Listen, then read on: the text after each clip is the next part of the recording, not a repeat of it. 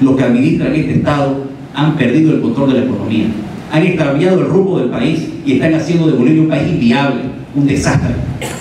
Por eso presentamos la propuesta de nueva relación con el Estado, porque queremos volver a la normalidad, restablecer el equilibrio para caminar hacia el desarrollo, desde Santa Cruz y para toda Bolivia. Hemos construido entre todos, y lo vieron en los créditos, un plan que replantea nuestra relación con el Estado.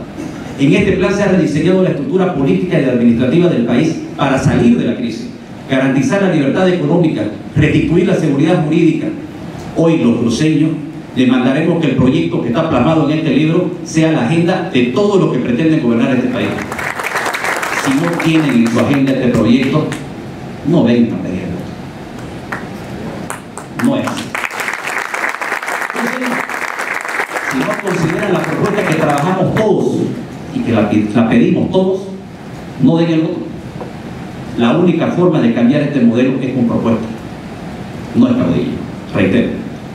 En este sentido, el Comité Pro Santa Cruz emprenderá una intensa agenda para socializar esta propuesta, para que los candidatos asuman íntegramente o asuman las consecuencias electorales de no atender las demandas de un pueblo que se organizó y desarrolló una propuesta que pidieron cientos de mil, millones de cruceños en el camino más grande a los pies de nuestro Cristo Redentor.